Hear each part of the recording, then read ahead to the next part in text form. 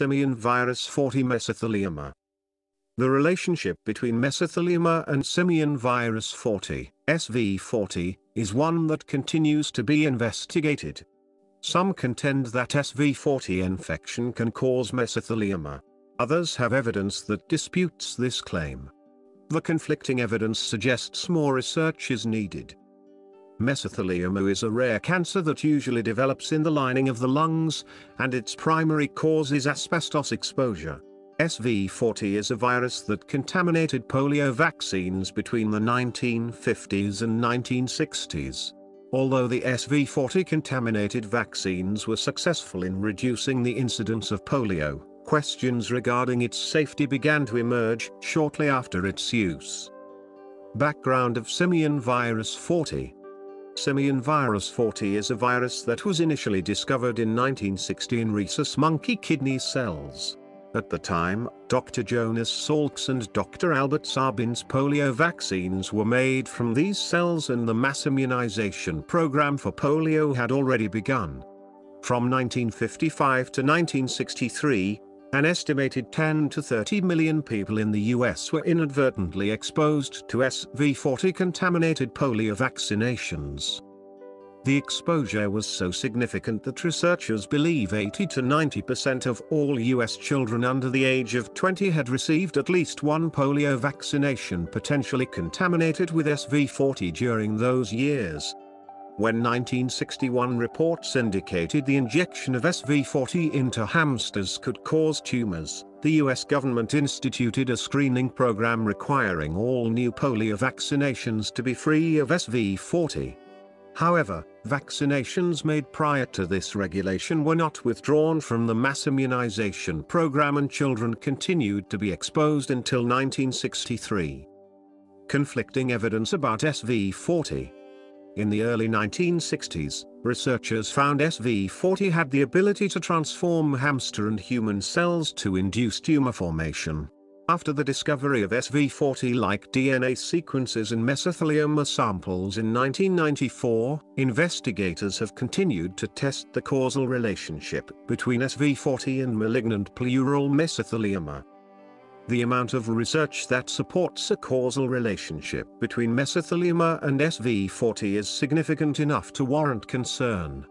In animal testing, 100% of those injected with SV40 into the pleural space developed mesothelioma within 3 to 6 months. One study found that 60% of malignant mesothelioma cases in the US contain SV40 while another study suggests 80% of cases contain the virus. Tumor studies vary greatly. In some studies, researchers have found human mesothelial cells to be uniquely susceptible to SV40, and have suggested that the virus and asbestos may act as co-carcinogens. SV40 has been detected in human tumors in more than 40 different laboratories and many of the reports from these labs say they found SV40 in mesothelioma tumors. Although there is evidence of SV40 acting as a causative agent in the development of mesothelioma, there is an equal amount of evidence arguing against this causal relationship. SV40 Working Group with the intent of resolving the conflicting information on mesothelioma and SV40. The International SV40 Working Group was formed in 1997. The group included the majority of laboratories studying SV40 in human tissues. In a study funded by the National Cancer Institute, nine laboratories agreed to participate in the study, which tested tissue samples for traces of SV40. Each laboratory was given a set of 25 human mesothelioma samples and 25 normal lung tissue samples. The samples were not labeled and each laboratory used their own method for detecting SV40. Results showed that none of the mesothelioma samples were consistently positive for SV40, suggesting a lack of evidence for a causal relationship between mesothelioma and SV40 vaccination did not increase cancer incidence. Other studies showed similar results.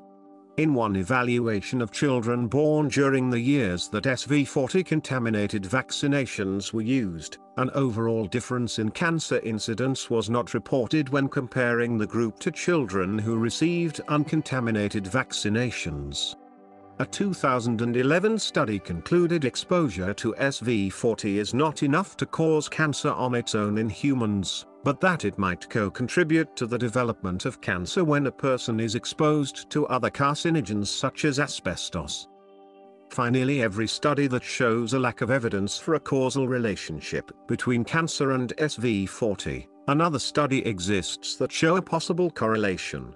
Considering the conflicting evidence, the medical community has yet to accept or reject a causal relationship between mesothelioma and SV40.